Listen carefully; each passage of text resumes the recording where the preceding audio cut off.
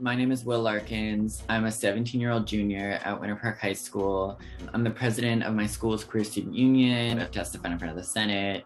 I, I guess, went viral on Twitter for presenting to my history class about Stonewall. The Stonewall Uprising. Essentially, people were fed up with the abuse, and Stonewall was the tipping point.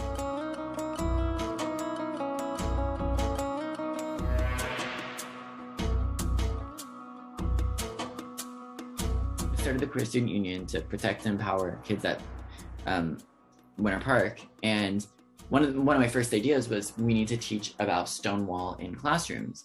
But um, you know, we started the club right when the 2022 Florida's legislative session was started. Mm-hmm. Uh, the Gay bill was filed. So we, uh, that's kind of been the attention. Like our, we put the club's attention towards that. So we haven't been able to do that. I decided, you know, I'm in my U.S. history class. At l- the least I'll be able to do is teach my class. So I I went up to my history teacher after um, a class. We were in the unit of late 60s, early 70s, like Vietnam War, hippie protests, but um, the Stonewall uprising happened in 1969. So I went up to my history teacher after class and I went to ask, are we going to learn about the Stonewall uprising? Knowing damn well we weren't. I know right. it's not the Sunshine State standards. I know she wasn't going to go out of her way to teach it. She didn't know what it was. And wow, you know, that just speaks to how unfortunate our education system is.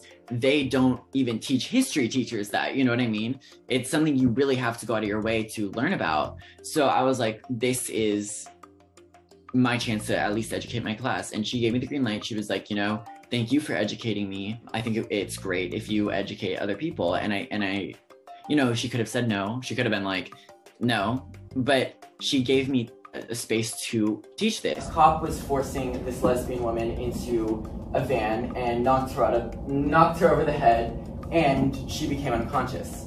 And that was the moment that people started throwing objects. I taught it to the class and I asked the girl who sits next to me to take a video of it. My original intention was just to post it on the Queer Student Union Instagram mm-hmm. account and be like, what we're doing. And then I was just like, hmm, I'll post it on Twitter. And then it blew up. And then I was profiled by the Washington Post, and here we are. I was going through your Twitter and um, I've just been seeing a, a, ton of adults actually targeting you, and you are a minor. Have, oh, yeah. your parents said anything about this? And, and what are your thoughts and your feelings on this right now? Honestly, it doesn't affect me. I don't really care. They can say whatever they want. All they're doing is delegitimizing their parental rights movement. Um, they're trying to say they're protecting kids and then attacking kids, and they're just making themselves look dumb. And I feel fine. So whatever. I don't really care. Do your thing. Um, mess up your messaging. I'm thriving. You mentioned that you were sort of going to be under investigation. You were supposed to meet with your principal what what happened there? I've been under investigation probably 10 times this year. I've never gotten a disciplinary infraction for any of these.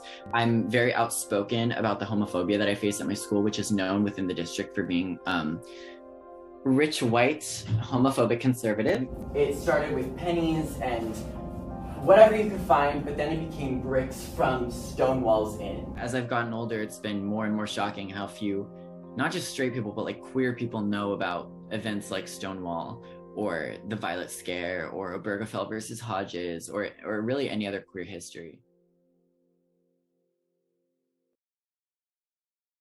Thanks for watching our YouTube channel. Follow today's top stories and breaking news by downloading the NBC News app.